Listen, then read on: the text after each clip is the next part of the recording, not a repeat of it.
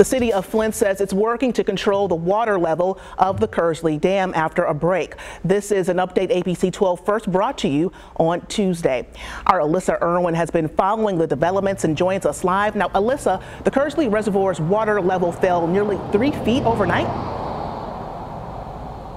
You know, Tiffany, that is correct. And I can say slowly but surely throughout the day that water level is increasing. The city says they were treating it as an emergency repair. They have dislodged that debris and now they are manually using those dams to get this water back into the reservoir. Residents say they're still slightly concerned. We talked with some of them today about what had happened, you know, a few days ago as well.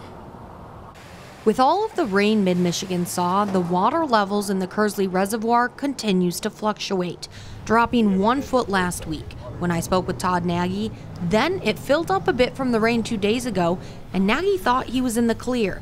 That is until he woke up this morning and what he saw was deja vu, but some even worse. Water level is exactly at my dock, and my dock sits out there probably 34 feet. Um, so it's a complete mess out there again. Here is the scene Tuesday, and here it is today, much lower.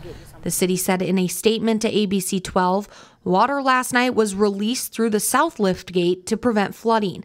Then the gate became clogged with debris and could not be lowered. It's very disheartening that you want this lake to be up and be an all sports lake so we can use it and have fun, but it's just uh, the water levels are you know so far down right now it's it's really really unsafe to use this this place out here according to the city they have been working to resolve the issue as the sluice gate controls the Kearsley Reservoir's water level through automation from the Water Treatment Plant Operations Center as residents wait to see what repairs will happen.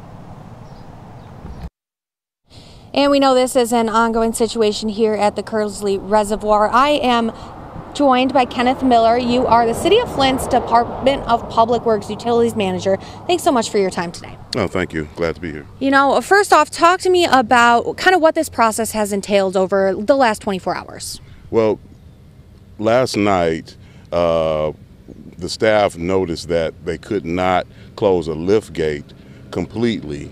Uh, a team was called in, and the team worked until late last night, uh, until it was not, not safe to continue working. So we remobilized this morning and opened the valve, the gate fully to dislodge whatever was stuck in it. And uh, it dislodged and we were able to close the problematic lift gate properly. You know what? What do these residents right now really need to know? What do you want to let them know? Well, we want to we want to let them know that the uh, the reservoir level is rising, and uh, we anticipate by 6:30 or 7:30 tonight for the for the, the level to be up at its uh, normal um, level. You know, and just where do we go from here? Is there any way to, you know, we know it's a man made lake, we know it's the dams. Um, just where do we go from here in the future? Well, what, what we at uh, Flint, uh, the city of Flint, are doing is we're going to bring in a consultant that is going to. Uh, to have a dive team go in and take an assessment of the dam at the the uh, sluice gate to determine its uh, viability for operation. Right. Well, I want to thank you so much for your time. And again, we know this is an ongoing, ongoing thing for many of the residents. We will keep you posted. Appreciate all your work. Thank you. All right. We are live here right in Flint. I'm Alyssa Irwin with ABC 12 News.